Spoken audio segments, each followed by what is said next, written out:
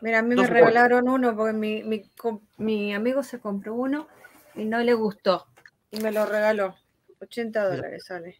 No sé si, lo conocéis, pero... Porque vos tenés que pensar, 80 dólares, ¿cuánto es el suelo mínimo? ¿Cuánto? ¿15 dólares la hora o algo así? No, claro, eso es de McDonald's. Bueno, perfecto. O sea, vamos, son 15, 30, 45, 60, 75. son 5 horas de trabajo en el peor lugar. Lili, yo tengo el mismo, Lili. Y el mismo, el mismo. Oh, no, te digo que un compañero lo compró y no le gustó a un amigo mío y me lo regaló. Todavía no lo sé ni usar ni nada, pero. Mandalo para Argentina, yo te paso la dirección. Estaban hablando ustedes de con la gente que a veces se compra cosas al pedo y viste después las, las deja por ahí o lo que sea. Bueno, acá este, a veces. Pasa que nosotros acá no podemos comprar al pedo. O sea, nosotros tenemos que pensar muy bien antes de comprar porque es un gasto que nos va a generar. Claro, este, pero es como dice, como dice Lucas, vos trabajás y te das los gustos y no, es que te vas a comprar un, no sé, una Ferrari, pero te puedes comprar algo normal y no pasa nada, porque trabajas para pero eso. Una cosa me quedó colgado, siempre te digo Walter, no me acuerdo tu nombre, Gonzalo. Gonzalo, Marta, si no voy a ir me lo voy a escribir porque. Me... Marta. Marta, Marta, no, Gonzalo, ¿sabes qué? Además, Alemania tiene un problema que no tienen los países de habla inglesa y habla española.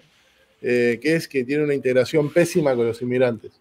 No. Vos acaso quinta generación de italianos hablas solo alemán, no hablas italiano y te ven como un inmigrante. Y ni te hablo con los países que están viniendo, países musulmanes.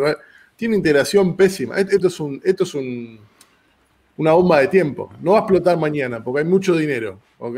Esa es la diferencia. Y hay orden en muchas otras cosas que en Argentina no hay. Pero es una sociedad muy dividida, boludo. Es una sociedad donde no hay amigos, es una sociedad donde el otro lo ven como un, bicho raro. Ponele que vos te sentís mal ahora. no mal de físico, de salud si no mal, triste o lo que sea, y no te decís, che, vamos a tomar una birra, ¿no tenés con quién ir a tomar una birra? No, no tengo uno. Sí, tengo un amigo que es español. Solo con él. O sea, no, tenés otra persona con quien te relacionarte ahí. no, todos los demás que conocía, Argentina o de otros países, terminaron siendo más egoísta de un alemán y me cansé de ser yo el único que tengo que llamarlo, che, ¿está bien? ¿Seis vivos? Nos vemos, nos juntamos. No, igual, para porque los argentinos también tenemos eso de juntarnos y estar muy. Yo cuando viví en Calafate, los de Calafate no son como los de acá en Capital. Ellos, cada uno con su familia y juntarse con amigos. ¿Sabes lo que me costaba juntar 10 tipos para que vayamos a jugar al fútbol? Mm. O sea, es depende. Nosotros estamos acostumbrados a Buenos Aires, a Capital. Si nosotros vamos 100 kilómetros para afuera, es, es otra vida también, ¿eh? Eso también hay que decirlo. No se vive tan mal. Yo, vos ves lugares que se viven muy bien Quiero decir algo igual sin, contradecir a Lucas, que evidentemente es, la voz de mando, porque es el que vive ahí, es el que. Es así, no, no, no. no lo que quiera, boludo. No, no, no, pero. Digo, es, tu experiencia, es experiencia y me parece que es súper valedera.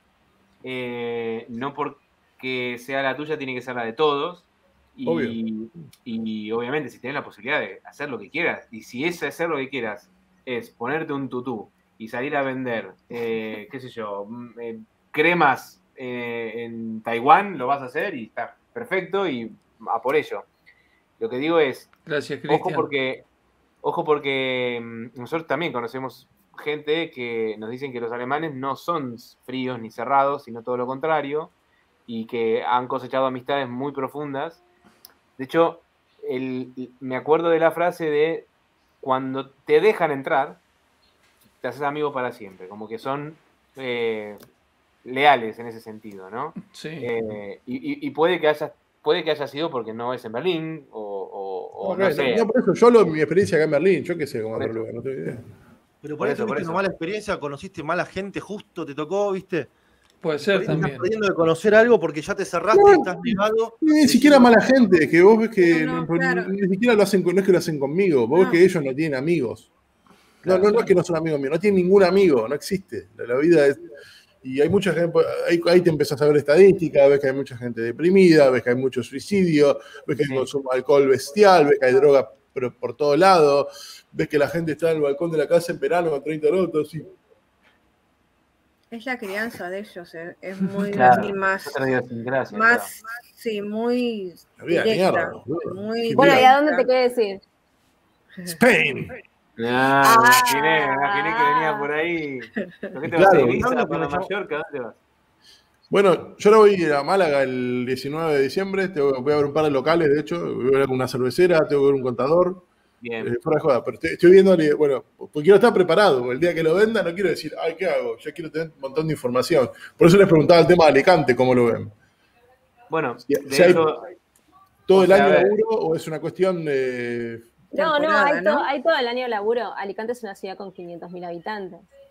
Ah, más, grande, más grande que Alcalá todavía. Sí, sí, es grande, es una ciudad grande y, o sea, es, capital de provincia. Y aparte es Alicante con toda el área metropolitana, San Juan y, todos los pueblos de al lado que tienen también bastante gente fija todo el año, Campello, bueno. Em, y tiene también cerca, no sé, Calpe. Otra opción, bueno, quizás no, no sé si es ahora el momento, pero Benidorm es oh, un, un, gran lugar. Lo que pasa es que si vos te querés alejar de los alemanes, también es un problema. Y para la provincia Alicante, porque no, no, pero eso es, claro, eso es otra cosa. Él ahí está, está traduciendo, está de, como de local. Entonces ellos vienen a él. Ahí está. Esa es la manera que hay que pensar. hoy Lili dijo, algo, hoy Lili dijo algo que a mí me llamó mucho la atención. Eh, vos dijiste, me encantaría volver a vivir en Argentina. Yo la dejé pasar, pero me llamó la atención. No, claro. Me hubiera gustado al jubilarme poder volver a Argentina, pero es, imposible de la manera que, surgen las cosas ahora, pero por eso lo más cercano a nosotros sería España ahora. Entonces, claro. al tener los papeles y todo, lo más factible. Vamos a quedar solos. Es que no se puede volver a un lugar que te tenés que estar mirando atrás a ver si viene alguien, ¿me entendés? Eso, cuando yo tenga 65, no quiero eso para mí. Quiero un lugar donde me pueda sentar en una plaza y esté tranquila después de haberme rompido, rompido el alma, todo el alma, eh, la vida trabajando. Que sí, que hacía otra cosa. Es corto, puedes decir corto, son las 3 de la mañana ahí, así que corto. Estamos en área de protección. No, pero después, la, no, después lo pueden ver y qué sé yo. Pero, Cuatro y media. ¿Me entendés lo que toda la vida? me levanto a las 5 de la mañana todos los días para a trabajar y no quiero que me pegan un chumbo al otro día que me fui porque quería vivir allá, porque quería estar en, en la tierra que nací. No, no. Vos sabés, Lili, que yo en, Europa estuve en varios lugares y estuve en países que no están tan desarrollados, como Eslovaquia, aunque está bastante bien. Eh, la República Checa remontó, es, es, una locura. Pero fui a Bulgaria. Vos decís, en Bulgaria, medio pobre. Tiene una infraestructura de la puta madre, no hay tiene menos criminalidad que Alemania. Eh, es un país súper seguro. O sea, ves que la gente está bien, vos decís, loco, en todos lados ya hay cosas que no se discuten. ¿no? Yo le pregunté a un tipo. Hasta Croacia, Split, viste, las islas, lo que es, como te vuela la cabeza, como diciendo, wow, esto está bueno también. Ahí es cuando te, te, te, choca, porque decís, bueno, listo. Estados Unidos es una potencia, ok. Bueno, España es una potencia, ok. Bueno, Suecia es una potencia. Bueno, va a un país que no sea potencia. Y vos ves que no hay inflación, ves que no hay robo, ves que los pibes están felices, ves la mina vestida de puta madre, los tipos también, ves auto último modelo y ahí vos decís, ah, bueno, estamos haciendo algo realmente al contrario de lo que va el mundo. Porque países que eran comunistas, mm. o sea, menos 10 estaban, están mejor que nosotros. Entonces ahí cuando ves, que no que no va a cambiar. Eso, vos ves que estamos haciendo en Argentina algo mal y no están diciendo cambiemos, están diciendo, che, metamos la escaña y vamos 100 por hora con esto que no funciona. Ahí está el error. Eh, dos cosas quiero decir. Una, le quiero, quiero seguir con el tema de Lucas. Pero primero le quiero preguntar a Lili dónde es que vive en, Nueva York, en qué parte de, en Nueva Queens, York. En Nueva York, Queens, cerca del aeropuerto Kennedy. Kennedy, JFK. JFK, ya. ¿Y, ¿Y, trabajás cerca de ahí, de, Long Island, o, tenés que viajar a, Manhattan? No, no, yo trabajo en el aeropuerto. Ella trabaja en el ah, aeropuerto. Es, supervisor. Ah, muy bien. ¿No? Ya, ya me, claro, me, yo no quería decir tanto todo lo que tenía que, que hacía, pero sí, soy, soy una de las supervisoras en, ahí en. Muy bien. Eh, sí, se trajo un Muy muchacho, un Jameson. Eh, si no fuera por mi malestar, yo ahora mismo, yo chicos, estoy tomando antibióticos hace un mes y medio. Quiero decirles que desde los tres meses que estamos en Argentina, Matías se enfermó más veces que los tres años en España. Sí, sí, pero esto es, algo que si ¿Eso sabes qué es? Ahora, Bueno, es un cuando quiera volver y tenga que comprar el pasaje en una sola cuota? No, no, no, no. No, porque lo compra con su cuenta de. ya, ya, está comprado, ya está comprado. Lo compraremos en Oigos, Oigos. Ya, ya está comprado. Eh, bueno, Mati, cuando, cuando llegues a Madrid, se vienen para casa, los voy a buscar al aeropuerto, cenamos y acá tengo una colección de whiskies que me, que me regalaron de todo. Tengo. Muy bien. Y ahí, ahí. Desde la última vez que estuviste creció la colección.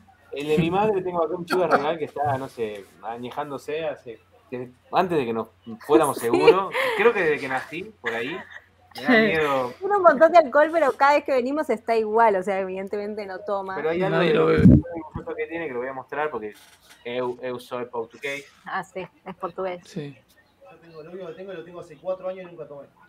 ¿Cuál es? Bailey, no, Bols. Bols. Me lo regalaron para un cumpleaños, no sé cuánto hace que lo tengo. Ah, vos no tomás alcohol tampoco. ¿Qué es eso? Es vino de Porto. Vino de Porto. Ah, mira. Y con cajita y todo, muy lindo. Sí. ¿Es, dulce eso? Oporto, es Oporto, sí. Oporto, sí. dulce. Es medio dulzón, pero no estás escuchando. No, no, no, ahí me pongo, ahí pongo. Sí, es medio dulzón. Eh... Eh, se llama, se llama Tawny lo voy a decir argentinamente, Tawny. O sea, T-A-W-N-I. Tremendo. Eh, es tremendo. Yo, el mío me lo bajé todo en cinco meses. El que teníamos este allá en, Alicante desapareció. El de mi suegra sigue, sigue vivo. Voy a ponerlo donde está. Juan, a ver, espera que acá está. Se están quejando que no lo leemos. Para que voy a leer comentarios. Oh, a ver, un mes y medio con antibióticos estás de broma, te dice Juan. No, no, le pasó a Argentina por encima. Eso pasó. Claro. Pero no es casual, chicos, que pase no, eso. No, obvio que no es casual, obvio que no es casual. Obviamente no es casual. En tres años, le juro, en tres años no se enfermó una vez en España. Vinimos acá y desde que llegamos, pero todo, gastroenteritis, sinusitis, eh, se le infectó una picadura de mosquito, o sea, no estoy jodiendo, literal. ¿Qué? O sea, antibiótico, antibiótico, antibiótico. Se va con una marca, con una cicatriz y todo. Esto, es mi marca de nacimiento, que lo tengo de siempre. Eh, pero esto es un mosquito que me picó. Chicos, la, la primera semana en Argentina fuimos a un asado en la casa de unos amigos. Te ablandaste. De repente, de repente a, la, sí, me agarraron. a las 6, 7 de la tarde una cantidad de mosquitos que no hacía tiempo que no veía. Es que en Alicante no hay mosquitos. Y estábamos, estábamos con el off, así, así, así, así. ¿Obra social tienen acá? No. ¿Cómo se tuvieron que atender en el No, no, nos sacamos un seguro de esos seguros de viaje y, tuvimos que usarlo a la semana de estar acá. Qué bueno, eh, bueno, por lo menos tenían algo rápido. Lili, nunca usé un seguro de viaje tanto como ese mes que no tuve. No, le hice valer, lo amorticé de una manera. Al día, siguiente, al día siguiente se levanta con un, huevo acá en la frente, una cosa roja, y le digo, ¿eso es un mosquito? Y me dice, sí, se está poniendo medio feo, ¿no? Y digo, no, y estábamos viendo la tele y no sé qué, y empecé a tocarme acá, no sé de, de qué, y me empecé a ver un quiste. Dije, me salió un quiste, no, era los ganglios. Se inflamaron todos los ganglios, claro. se me habían inflamado por, la, por combatir la infección que tenía acá. Terminé tomando corticoides, terminé tomando antibióticos. Claro, en una semana y media ya estaba, ya, era yo. Lo que pasa que, bueno, se cicatrizó mal. Y el problema después fue que terminé teniendo una gripe, que tuve gripe, no fue COVID, y tuve que tomar antibióticos porque se transformó en sinusitis. 10 días tomando como tuvo que me. Estás somatizando, estás somatizando. Seguro. Y eso derivó en gastroenteritis. O sea, así estamos. Ese es, el, ese es el rechazo de tu cuerpo que se quiere volver. Exacto, quiere Alicante del cuerpo. quiere Mercadona. Mani, Mercadona. Mani, dos opciones. O te separás o Abstinencia del Mercadona. Abstinencia del Mercadona. ¿Qué, Lucas? No te escuché. No, dije, o te separás o te lo llevas a Alicante, pero hace algo porque te pibe no, no aguanta una semana más. te digo, te digo que cuando, cuando empezó con gastroenteritis, que fue la tercera cosa desde que llegamos, un día me calenté, le dije, me estoy armando la valija, me voy a lo de mi mamá. No te aguanto Acá por lo menos tengo a dónde irme. En el pueblo no tengo a dónde ir. Pobre. Pobre. Así cualquiera se hace la canchera, claro. Qué horror. Está conectada hace 17 horas. Por ejemplo, está Pablo Lázaro Martínez, que lo veo hace un montón, Silvia, eh, Juan. Son una masa, la verdad que son una masa. no sé cuál, Erika, mirá. Erika sigue conectada. Pará, porque acá Julieta dijo algo que está buenísimo. Me dice Julieta Sánchez. Me voy a Alicante si no hay mosquitos. Una de mis nenas eh, tira a ser alérgica, es una tortura pidiendo que le rasquen y lastimándose.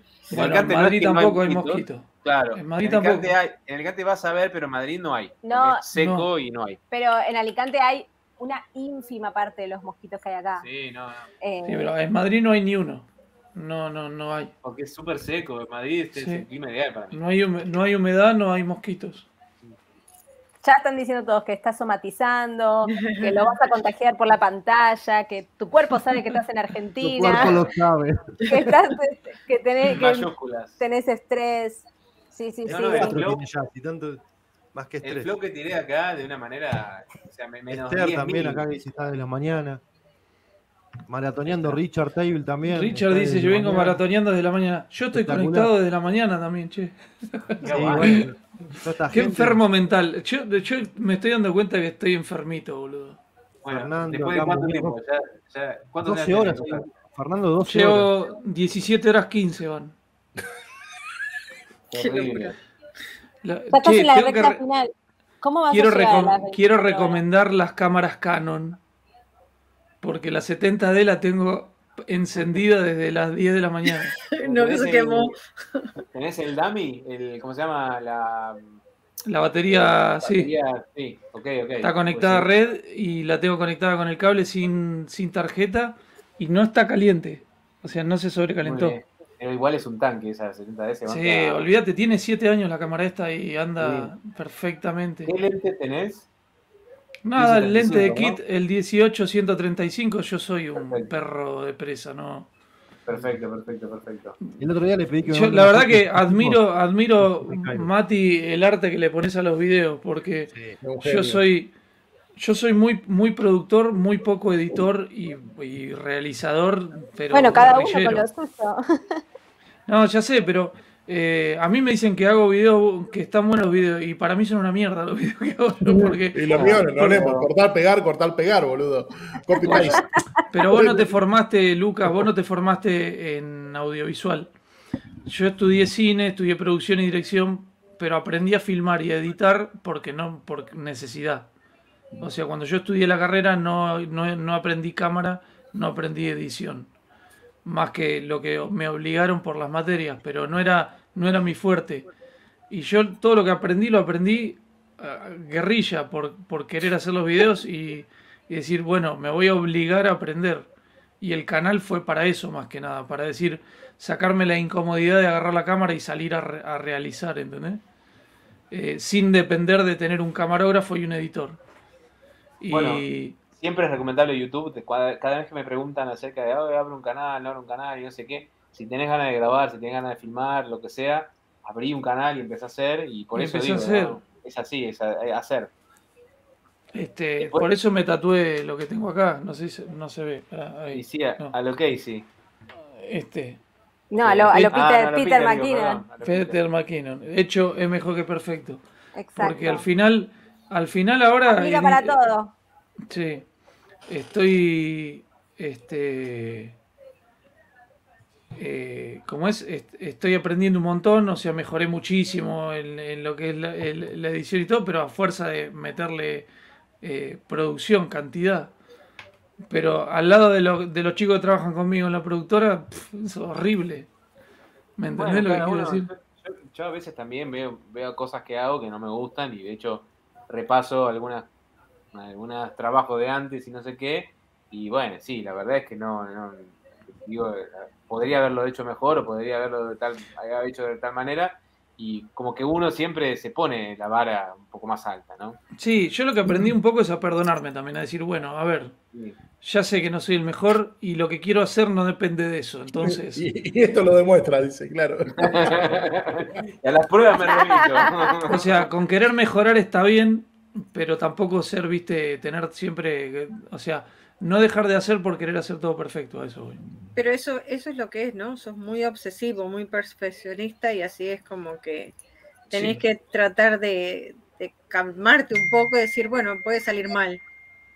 sí, sí, de, hecho es todo un aprendizaje para mí. Yo antes era tan perfeccionista que no hacía.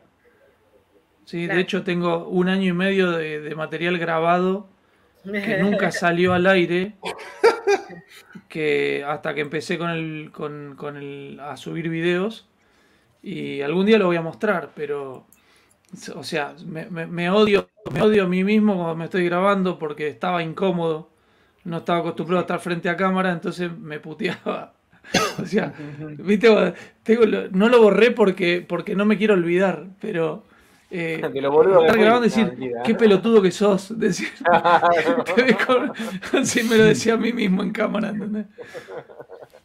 Qué bueno sería que te escuchara, ¿no? O sea, igual si te escucha me, muero, me caigo muerto acá, me caigo y me levanto, porque sería un viaje de pasado increíble. Uh, hoy, eh, hoy pasé el primer video que hice del blog. El primer video que subí cuando llegamos a España y subí y, y compartí el video que hice eh, seis meses antes de venir, en, abril, cuando me levantaron el, coche con la grúa, que fue un video que lo hice enajenado, estaba sacadísimo y, estoy hablando a 10.000 kilómetros por hora y metí, no sea, eran cuatro palabras, cinco puteadas. Y, me veo y no me reconozco, te juro. Es que también cada uno tiene su propio estilo, ¿no? Poner, nosotros somos un poco más políticamente correcto, correctos, en el sentido de que tratamos de no de no generar mucha controversia, de, obviamente siempre decir las cosas lo más clara posible. Y, por eso también, digamos, el tono te va llevando a decir las cosas como, como querés decirlo. No, pero yo ahora estoy mucho más tranquilo. y yo no soy así tampoco. Yo me di cuenta que, no soy esa persona. Claro. Es la circunstancia que te llevó a eso también, ¿no? Es horrible. Yo en estos dos años descubrí otra persona, ¿entendés? En mí, en mí. Claro. Y te hace un cambio salir de allá, porque es como que la sociedad misma se ve tanta violencia o tanta presión que se pone que, te das cuenta cuando vas diciendo, uy, acá está como todo el mundo muy a punto de explotar la olla, ¿viste? Sí, sí, sí.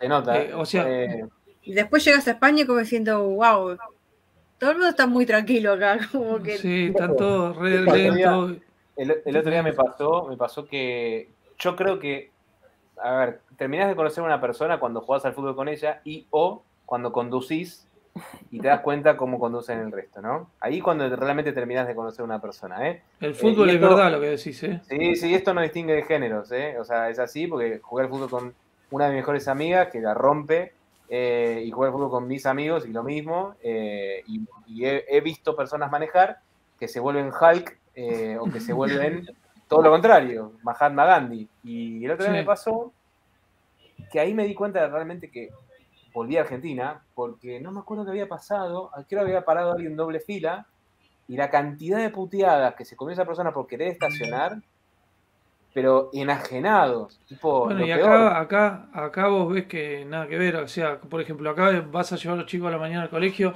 y todo el mundo para en doble fila, y por ahí ni se fijan y te ponen, viste, un coche cruzado que te cuesta un huevo, pero no escuchas un bocinazo, nadie se putea, como mucho puedes escuchar un, eh, gilipollas, a tomar por culo, y ya está. y la, ahí, la, bocina. Y, ahí quedó, son un amor acá, pelea. La bocina ya no, me la había olvidado. Acá es, es, es, impresionante. Manejas 10 minutos y te estresas toda la semana. claro, y aparte, Allá no, tiene paciencia la gente y tampoco el que está, el, que va a estacionar y sabe que le van a tocar bocina, ya está con la puteada en la boca esperando para rajarle una y así todo. Acá nadie la usa y si la vas a usar te dan 350 dólares de multa. Acá también hay multa por eso. No, se usa, no, se usa, la bocina, no, la tiene el, auto, pero jamás se usa. Yo no sé ni cómo suena mi bocina. ¿Y, en, qué, en qué circunstancias sería adecuado utilizarla entonces si la traen? Emergencia. Claro, si te pasa algo, emergencia, claro. Pero si no, no. Okay. no, y, subirse, y subirse un colectivo. Claro, eh, allá en Argentina la usan para mover cosas. Eh, me, volví a subir un colectivo acá en, Buenos Aires y me, había olvidado también los ruidos que hace los colectivos acá en la ciudad. Ah, ¿viste? O sea, en, Alicante son todos eléctricos, entonces no los escuchás, es como totalmente silenciosos, no escuchás el colectivo. Acá frena y y no le cambia la, de la campana de freno. Claro, la campana de freno. No le cambia la pastilla de freno hace 8 años, suena así. Y después, cuando va tipo con el motor que... No, y además... Sí, lo, ¿cómo se llama? Los, la suspensión. suspensión. Es tremendo, es, tremendo. Y además te dejan en cualquier lado, o sea, de hecho, una cosa para, que... Igual, te paran un metro. claro, con el tema de, igual de la pandemia, que la gente está viajando mucho menos, la verdad es que eh, se está viajando bastante mejor. de hecho, me tomé subte volviendo del centro a las seis y cuarto de la tarde, que en otra época tenías que dejar pasar cinco porque no te podías subir. Volví sentada. Aparte, volvías con trillizo. Porque... No, tremendo, tremendo. Pero Em, pero el tema de, los ruidos de los colectivos acá en Capital es una cosa que te enferma, es impresionante. Bueno, y otra cosa que también acá Cara dice, ustedes porque no fueron a Perú, dice Cara. Ah, sí, me dijeron que para tomarte un taxi te tocan bocina para que te suban en Lima.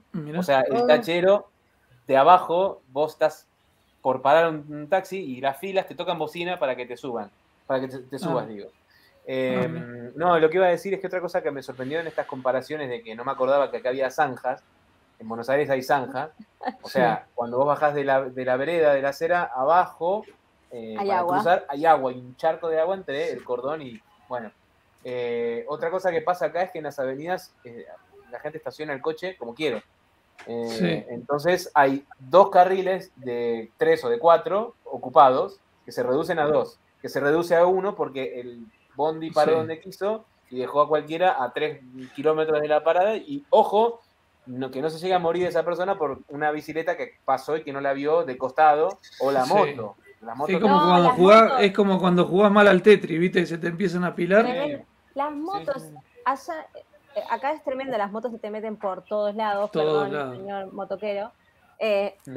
se te meten por todos lados y vos pones el guiño para doblar, igual te pasan por la derecha y te la podés llevar puesta. O sea, es tremendo. yo, no, yo no manejaba así con la moto porque soy totalmente consciente del riesgo que corres cuando haces la moto por hacer esas pelotudeces.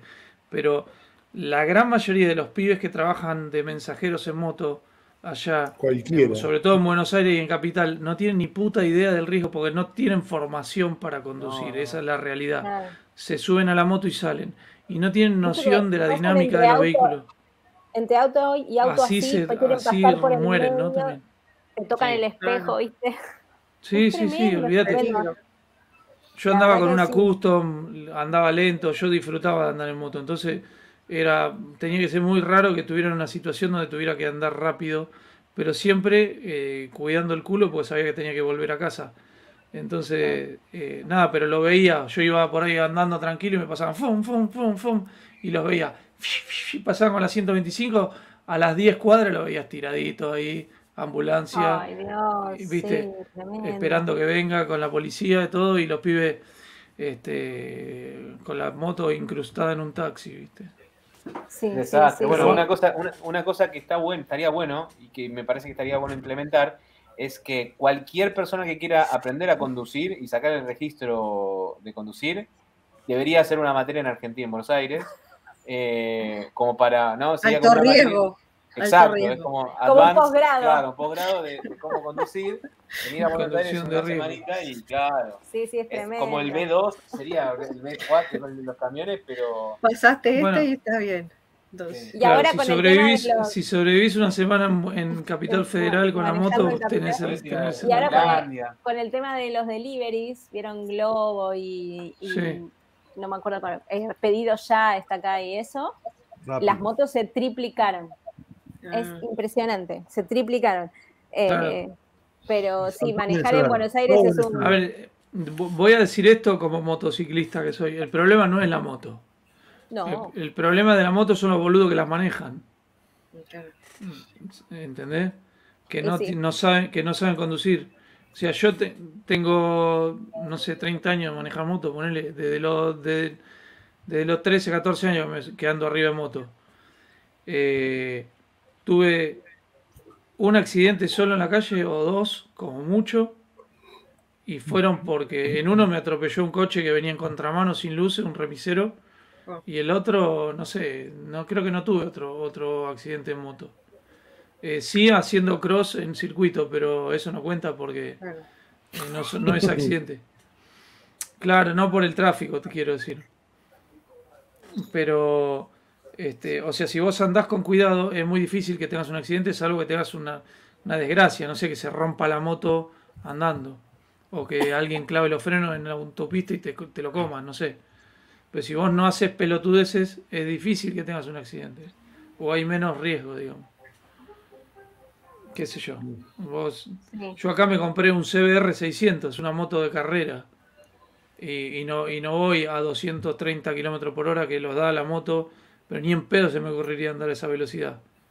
¿Entendés? Ahora, donde pueda entrar a un circuito y pagarme un día de, track day, ahí sí me saco el gusto porque eh, es muchísimo más seguro, no tenés eh, un montón de riesgos que, que en la calle están. Lili, ¿ahí funciona ahí en Nueva York eh, Rappi y todas esas cosas? Mm, no, no tanto. Hay como Uber Eats, ¿viste? Uber Eats. Uber Eats, sí. Está ese, sí.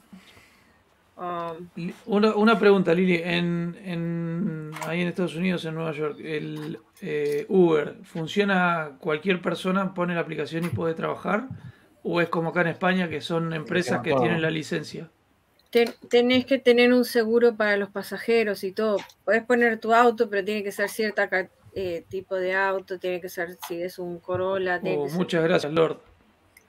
Así es como que lo calificás, ¿viste? Eh, tenés que cualificar a lo que ellos quieren, la clase de auto, y después tenés que tener un seguro para los pasajeros. Ah, vale. Especial. Acá, por ejemplo, una persona cualquiera no puede trabajar eh, en, Uber, tiene que ser chofer de como de taxi, porque las empresas tienen que tienen la licencia son las que contratan a los choferes. Entonces tenés que tener la licencia de chofer. Y la empresa tiene que tener la licencia de eh, BTC, se llama UBTC, le dicen. Claro. No sabía eso. Sí. Sí, sí, de hecho podría ser una, alternativa para trabajar para mucha gente que viene, pero no, o sea, lo es, pero tenés que, no, no ganás lo mismo que si sos el dueño del coche, ¿entendés? Te, te pagan un sueldo y punto con el chofer. No así si vos trabajás de repartidor, por ejemplo, que eso lo podés hacer con tu carnet B en una furgoneta sin problema y siendo autónomo. Chicos, les iba a preguntar a, Van y Mati estos tres meses, aparte obviamente de todo lo que pasaban y todo. ¿Qué hicieron? Porque trabajaron, no encontraron trabajo, me imagino. cómo pasan sus días? Bueno, en realidad no es un tema medio bajón, pero. No, entonces no. No, no, no, en realidad, mira. Fuimos tele, fuimos al cine. bueno, fuimos al cine porque unos amigos nos insistieron bastante. Y fuimos al teatro también. Fuimos al teatro también. A ver a Sebastián Weinreich. fuimos a ver a Weinreich y fuimos ah, a ver a, a Pugliese. A Martín Pugliese. Em, sí. Y mm, fuimos al cine también. Eh, los miércoles sigue siendo mitad de precio, así que bien. Ahí en Villa del Parque tenés el cinema de voto, tenés dos por uno. Sí. Sí, nuestros amigos son de Belgrano, así que nos llevaron para allá. Em, estuvimos viendo bastante amigos y familia. La realidad también es que acompañado de un fallecimiento de un familiar vienen muchos trámites de mm. mierda.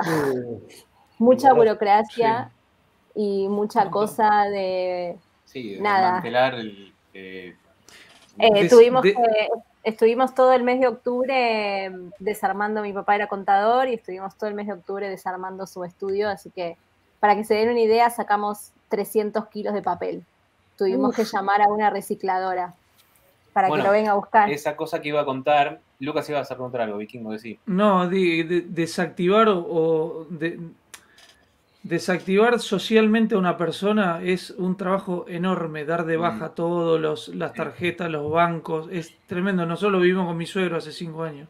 Es que aparte no te das cuenta, ¿viste? Y después de repente te llega la tarjeta la tarjeta de crédito y vos ves que hay una cuota de algo y decís, ¿y esto qué es? Entonces tenés que comunicarte con esa empresa, explicar que falleció, esperar que, te llegue el seguro. de defunción, eh, mandarlo, que te lo acepten. Aparte acá, para las bajas de todo es toda una burocracia terrible. Sí, terrible. Va a seguir votando durante 20 años tu papá. No, eso, eso sí, fuimos a, bueno, nos tocaron acá las elecciones, las paso y las otras. Fuimos a votar las dos veces. No, no, no. no, y, él, y él estaba. No. Ah. Tenemos, dirección acá. Son argentinos argentinos todavía. sí. Y, y, bueno, como había pasado tan poquito tiempo, yo, obviamente por apellido, estaba mi hermano, mi papá y yo en el padrón, obviamente. Y eh, nada, la verdad es que son tres meses que se pasaron volando porque estuvimos a full haciendo un montón de cosas y esto, casi todo el mes de octubre, desarmando la oficina, donando un montón de cosas, tirando. Sí, creo que fue en octubre que hablamos, Mati, ¿no? Sí, sí, y, sí. y la verdad que un cansancio físico y emocional terrible. Así que la verdad es que, no sé, recién ahora siento que estamos siendo un poco más nosotros, entonces por eso dijimos, bueno, nos copamos, nos sumamos al vivo, nos ven la cara y... yo se los agradezco un montón. yo no sabía, te lo pregunté de... no, no, pasa, nada, no pasa nada. O sea que para bajonear quizás están las noticias. Pero... pero por suerte ya, a ver, sí, sí, es duro y es triste, pero como decía, recién ahora nos estamos empezando a sentir nosotros de vuelta, como para tener ganas de, poner la cara de vuelta frente a una cámara y empezar a, hacer algo. Y sí, porque la, gente quieras o no, o sea, del otro lado de la pantalla se, se transmite un montón los quieren un montón, chicos. Ustedes no saben la cantidad de mensajes que me han mandado preguntando por ustedes. Si quieren practicar estar dentro de una cámara, está perfecto, porque faltan 7 horas para cumplir las 24 horas. para hablar, un training acelerado van a hacer. Es como un debut, nuevamente, un, debut. Eh, Este es el entrenamiento intensivo. La, la aposta es, Lucas, que, recibimos un montón, un montón de aliento de gente que no conocemos, pero que nos conoce y, eso es, bueno, vos lo sabrás mejor que cualquiera, ¿no? Que, te den un aliento, que del otro lado es una... Y aparte... ¿Cómo sienten esto? Porque ustedes no son youtubers. ¿Hace cuánto son youtubers? Y un año y medio. Un año y medio. Hace un año y medio no, tenían esto. Y ahora de repente un montón de gente que no, no la conocen les empiezan a mandar mensajes y los quieren. Impresionante.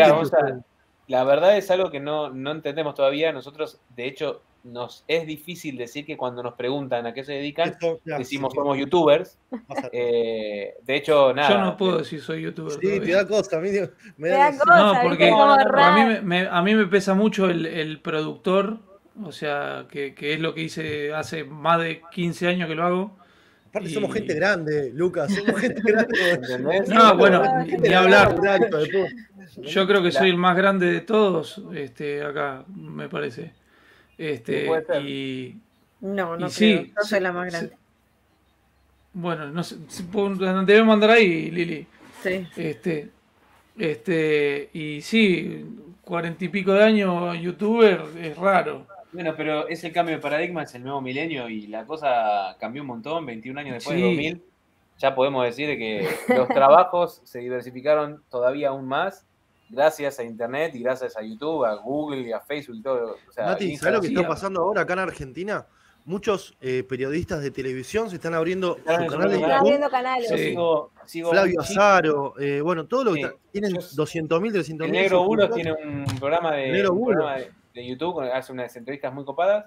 O sea, no es que particularmente lo sigo a él, pero me sale recomendación, porque yo sigo a un chico que se llama eh, Jaco, este, que es un fenómeno, eh, Jacobe, ahí no me sale el nombre de pila, bueno, nada, es un pibe que también arrancó Juli, Julián Jacobe, que es, un, es periodista, tiene veintipico de años y se armó un canal y habla solamente de la selección argentina.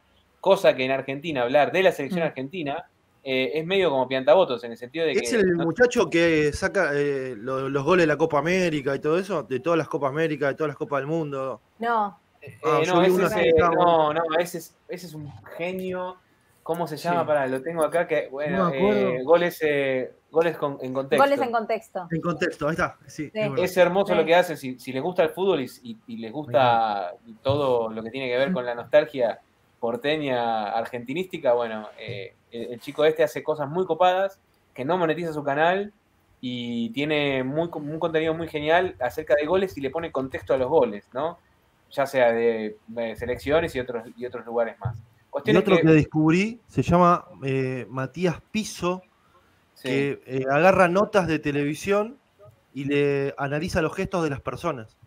Porque ah, ¿Lo viste? ¿Lo viste, Luca? Sí, sí, he visto un par de videos.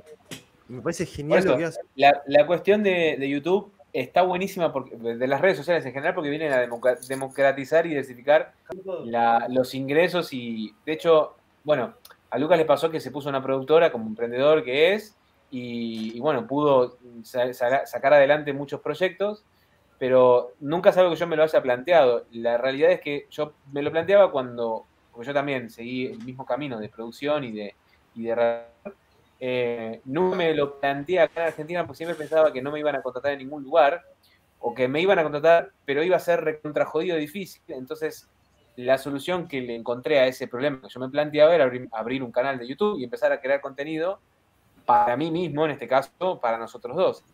Y lo loco de todo esto es que el alcance que puede llegar a tener eh, no es, o sea, creo que es más poderoso que un canal de televisión, en el sentido de que es mucho más, ¿no? Mucho más directo, mucho más auténtico, mucho más. La gente te busca eh, vos.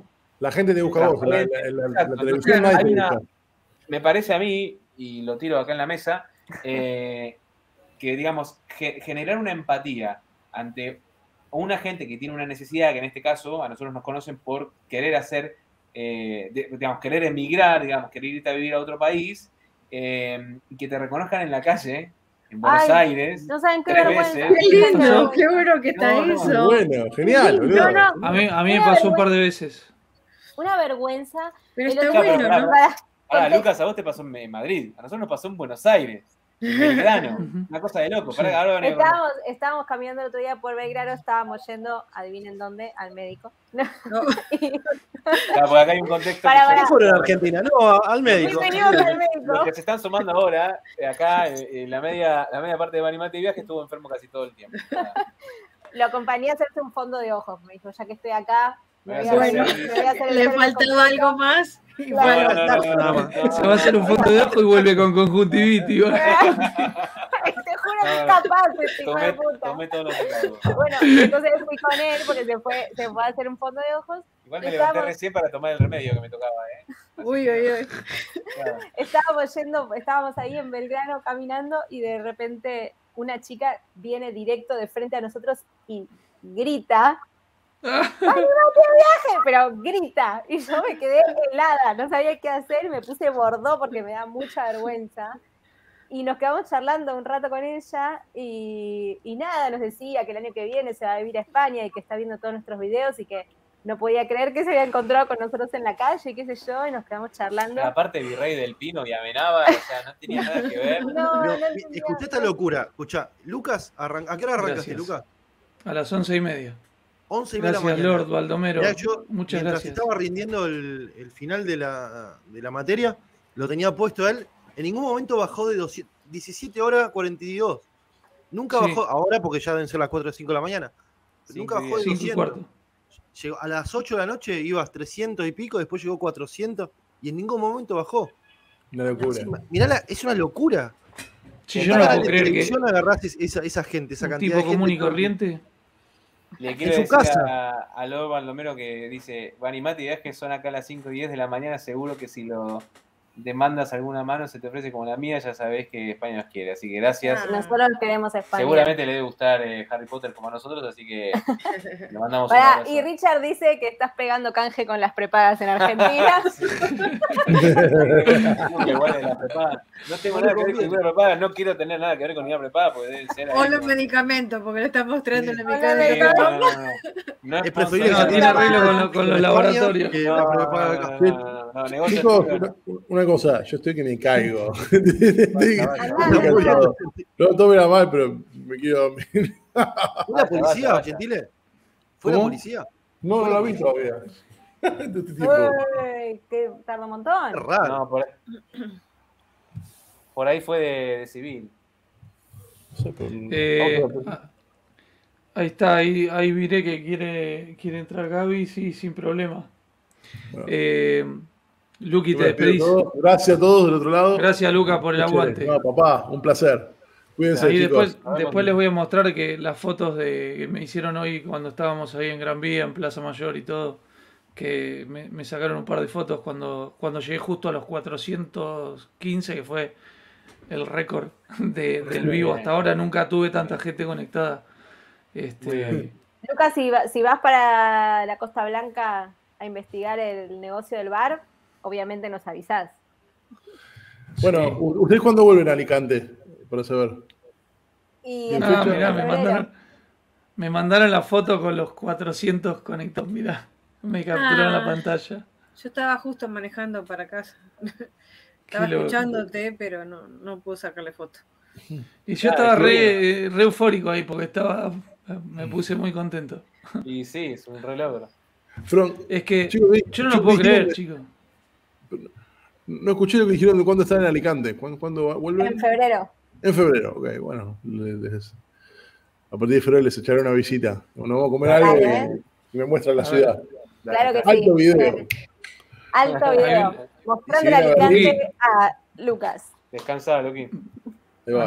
Gracias, Lucas. Vamos los pibes, vamos los pibes, aplauso, loco. Vamos, vamos, vamos. falta menos ya, 17 horas 45, vamos, falta menos. Estuvo, lindo lo está, está, mal de la cabeza, está, el psicólogo. Llevar este video a tu psicólogo, decirle, mire, yo hice 24 horas de vivo, acá está. Si no me desmayo. Imaginar. Bueno. garparía un montón, de hecho, ¿eh? garparía un montón. Sí, youtuber colapsa en medio de un vivo de 24 horas. Le voy a dejar entrar a, a Gaby que está acá esperando. Este, ahí está, vamos a darle. Hola Gaby. Hola, ¿qué tal? Acá. Buenas noches. Un poquito hablando un poco despacio porque están durmiendo, pero bueno, he estado con los auriculares todo el tiempo. Me dormía gracias. y soñaba que estabas así como Jesús con los pastores y hasta que la siento Lili y, me despierto y así me, me caí un momento y será por la Navidad y todo lo que lo que he estado viendo. Estás mirando, Se me echó un matete ahí. ¿Cuántas horas hace que estás conectada mirando? Y desde, a ver, eh, bueno, de acá de España, desde las 6 de la tarde más o menos. Uh, ¿Te das cuenta, de lo que te digo? Yo no lo puedo creer. O sea, ah, no, no, ¿sabes lo que están haciendo? Que yo me muero, te juro que me emociona. Se van a hacer cosas y dejan el móvil enchufado con el vivo eh, bajito para que, para que siga contando el tiempo de visualización. Imagínate en, en, JFK, escuchaban a todos hablando en inglés, en español y todos hablando en inglés, decían, ¿y eso de español de dónde viene? Y yo tenía el celular. Claro, había gente cuando vos estabas en Madrid, Lucas, que empezaron a poner, yo me conecté de la tablet, del celular y hasta del microondas. Puso uno. Sí, imagínate estaban todos ayudando para que. No, la verdad que es increíble, es increíble. La gente, yo la verdad que no lo puedo creer, en serio, pero esto lo digo de verdad. ¿eh? Eh, lo loco de todos lados, ¿no? Mira, Lili está en Nueva York. O sea, Lili en Nueva York, está Seba en México, gente que está en Israel, gente que está en Irlanda, en Escocia. En Dubái. En Dubái. No, pero es, loco. Es loco. Estamos en Qatar esperando el mundial. Claro. Falta un año. Bueno, a mí el otro día me pasó que fui, estaba en el hospital acá en Alcalá, eh, que lo llevé a Tichu a hacer el control, que teníamos que hacer, viste, por la edad, qué sé yo, y, y me, de repente se acerca una señora divina y me dice, vikingo, espera que se me apaga el monitor, espera. Ahí está, que cada no sé cuatro, cuántas horas se apaga solo, ya se me apagó un montón de veces hoy. Y sí, después de este, horas. Eh, me vino a saludar y súper respetuosa y divina. Y es rarísimo que te reconozcan. O sea, en la calle ya me pasó, no sé, cuatro o cinco veces. Es rarísimo.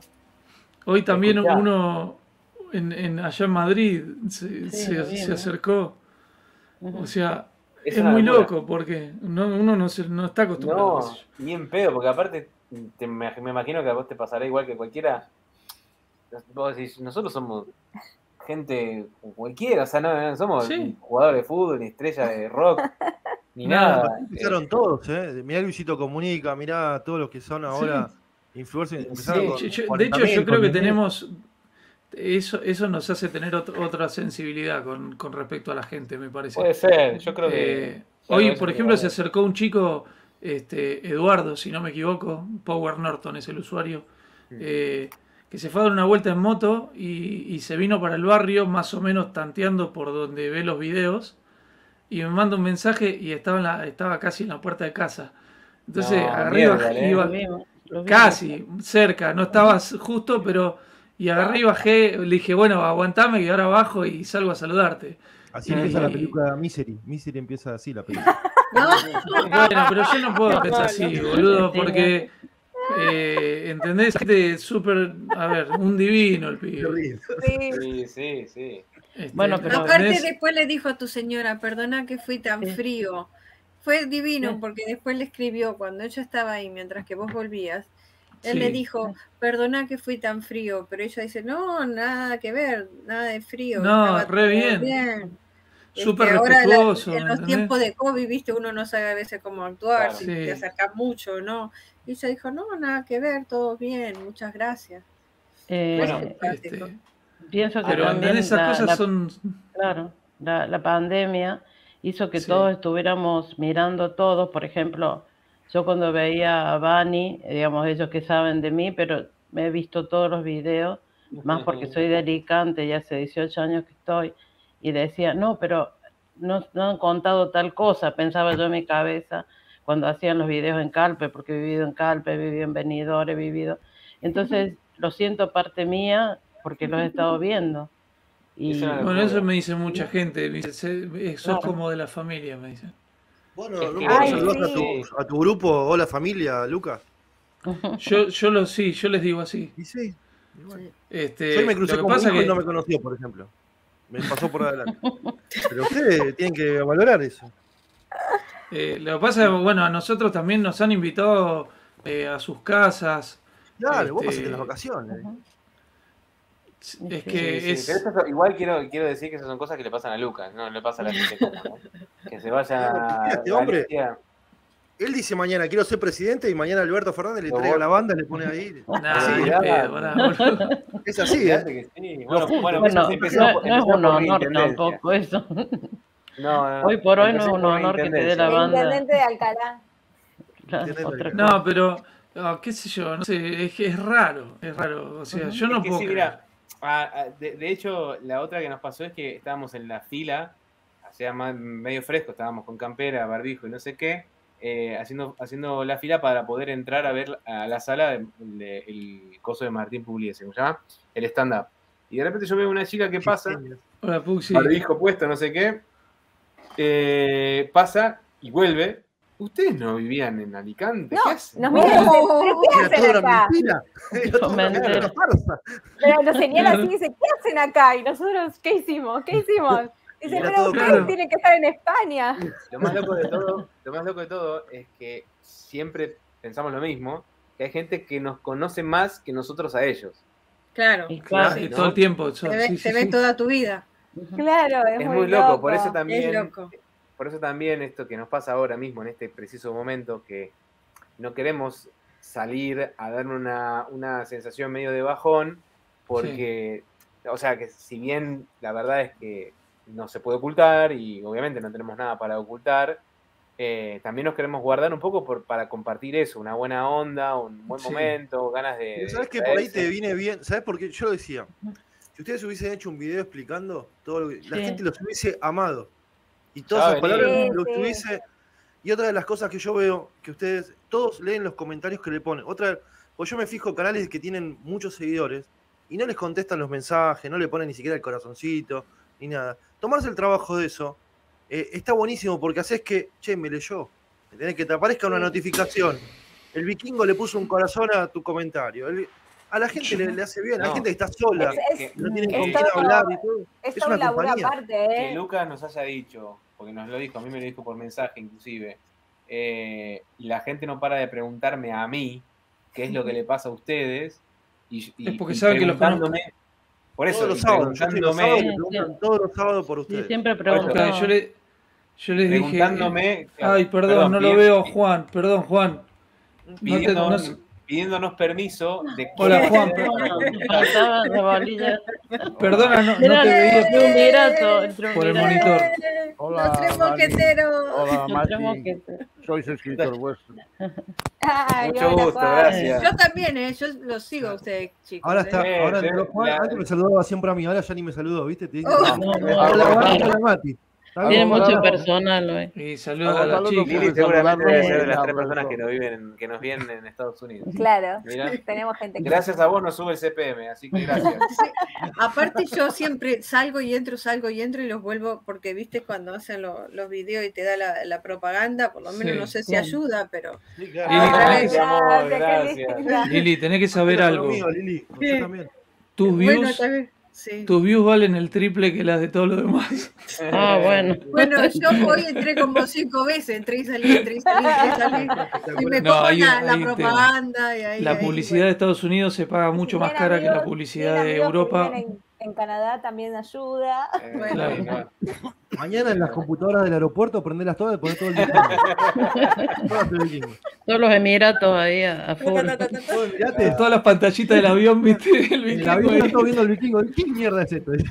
O cuando suban al avión. Hay que empezar a poner subtítulos en, en árabe. ¿Quién es este loco que está 17 horas en vivo? bueno, este? en, en, eh, economía son 426 asientos, así que los puedo poner en todo. Ahí tenemos que arreglar, Lili, a ver cómo le ponemos por default la lista de reproducción 456 videos. Más el vivo de 24 horas. Perdón, eh. se engancha y vuelve al chabón, ¿viste? No, no para el vivo. 13 horas de acá a Dubái y volver, ¿viste? bueno, ¿sabes qué? Tenés un vivo y de vuelta. Eh, perdón, le quería decir a los chicos que, que, está bien, o sea, que lo que les pasó está bueno contarlo, porque la inmigración tiene eso. Yo, por ejemplo, perdí a mis padres estando acá.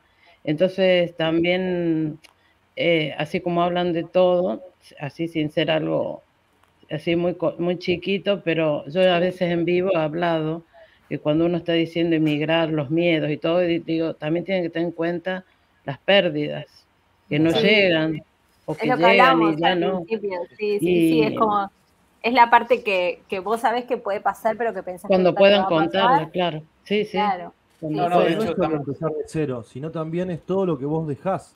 Empezás de cero en otro lugar, pero vos dejás toda una vida. Ella, bueno, volvió a las casas de sus padres. El otro eh, día estábamos hablando con con Gaby y ella es profesora de teatro, entonces ella ah, hablaba, entonces como ella hacía en Córdoba y tal, porque ella es de Córdoba, este, cómo les ah. enseñaba a, los alumnos y todo a, enfrentar sus miedos, sus vergüenzas.